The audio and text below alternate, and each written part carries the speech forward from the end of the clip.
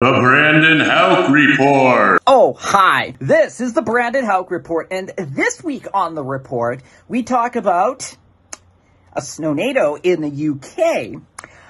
Cyclone Freddy finally dying over Mozambique. Yes, Cyclone Freddy. It was lasted, pretty much lasted for over a month.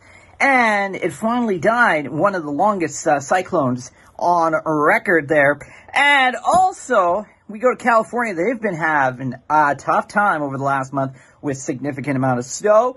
Rain, flooding has been a big concern over this past week as well, and that will continue to be the case until all of this snow begins to melt here. And uh, a man, 81 years old, was not prepared for the weather, and he drove his car into a snowbank and had to survive a week on candy and a croissant before rescuers were able to get him by helicopter. So that was in California. Meanwhile, in Alaska, hikers climbed up a mountain and they drew something a little inappropriate on the top of the mountain.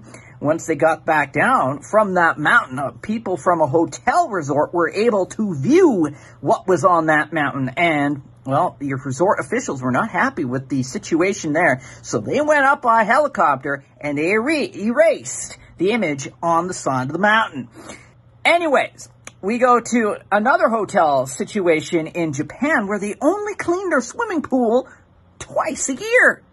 So I would not recommend jumping into that swimming pool. No. And also, rapper Common turned 51 this week and he celebrated with his friends Ordinary and Typical. And that's the Brandon Houck Report. The Brandon Houck Report.